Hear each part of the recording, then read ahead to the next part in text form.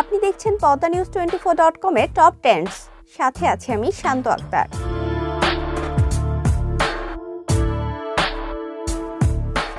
সাভারের ধামরায়ে গরু চুরির মামলায় ঢাকা জেলা উত্তর ছাত্রলীগের বহিষ্কৃত ছাত্রী বিষয়ক সম্পাদক বাবলি আক্তার সহ সাতজনের বিরুদ্ধে চার্জশিট দাখিল করেছে পুলিশ। গত ছয় ফেব্রুয়ারি ঢাকার চিফ জুডিশিয়াল ম্যাজিস্ট্রেট আদালতে এই চার্জশিট দাখিল করেন মামলার তদন্তকারী কর্মকর্তা ও ধামরাই থানার উপপরিদর্শক মোহাম্মদ আশরাফুল ইসলাম। চার্জশিটের অন্য আসামিরা হলেন মোহাম্মদ হাবলু সর্দার, আরিফ হোসেন, রাজু আহমেদ, শাহাদাত হোসেন, মোহাম্মদ সাইদুল ইসলাম, মোহাম্মদ মোর্শেদ আলী। এছাড়া নাম ঠিকানা না পাওয়ায় পলাতক গরুচুর শহীদ ও ট্রাক চালকের অব্যাহতির আবেদন করা হয়েছে। দু হাজার বাইশ সালের তিরিশ অক্টোবর গরু চুরির ঘটনায় আব্দুল লতিফ বাদী হয়ে ধামরাই থানায় মামলা দায়ের করেন। এই মামলায় ওই বছরের দুই নভেম্বরের ভোরে সাভারের রেডিও কলোনি এলাকায় অভিযান চালিয়ে ওই ছাত্রলীগ নেত্রীকে গ্রেপ্তার করে পুলিশ। বর্তমানে তিনি জামিনে রয়েছেন।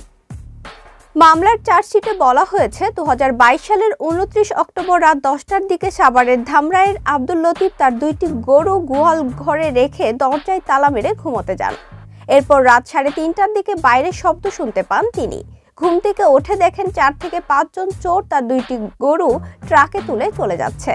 তখন তিনি চিৎকার দিলে আশেপাশের লোকজন বের হন। ট্রাক থেকে লাভ দিয়ে পালাতে গিয়ে আহত হন আসামি হাবলু সর্দার। এরপর স্থানীয় জনসাধারণ তাকে আটক করে। আসামি আরিফ হোসেন, রাজু আহমেদ, শাহাদাত হোসেন, মোহাম্মদ মোর্শেদ আলী ও পলাতক আসামি শহীদ গরু দুইটি চুরি করে নিয়ে এসে আসামি বাবলি আক্তারের কাছে বিক্রি করে। এরপর আসামি বাবলি লাভবান হওয়ার উদ্দেশ্যে গরুগুলোর আবার ওইসব আসামিদের মাধ্যমে বেশি দামে অন্য জায়গায় বিক্রি করেন। আরও বলা হয় দু সালের সাত নভেম্বর গাজীপুর থেকে আসামি সাইদুল ইসলামকে গ্রেপ্তার করা হয়। এ সময় চুরি হওয়া দেড় লাখ টাকা মূল্যের গর্ভবতী গাভী উদ্ধার করা হয়। এরপর আসামি সাইদুল ইসলাম আদালতে স্বীকারোক্তিমূলক জবানবন্দিতে উল্লেখ করে, সে একজন কসাই। ধামরায়ের মোর্শেদ ও শহীদের কাছ থেকে দুইটি গরু কিনেছিলেন তিনি।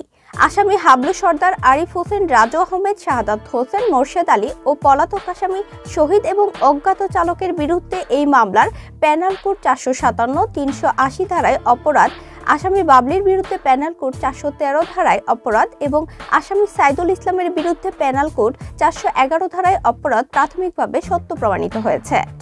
পলাতক আসামি শহীদ ও ট্রাকের অজ্ঞাতনামা চালক দুইজনের সঠিক নাম ঠিকানা না পাওয়ায় মামলার দায় হতে অব্যাহতি প্রার্থনা করা হয়েছে।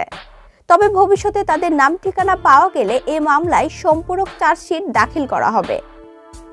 Padma news twenty four dot কমের নিয়মিত আপডেট ভিডিও পেতে আমাদের ইউটিউব চ্যানেলটি সাবস্ক্রাইব করে বেল আইকনটি ক্লিক করে রাখুন। ফেসবুকে আমাদের ফলো করুন Facebook dot com slash Padma news twenty four.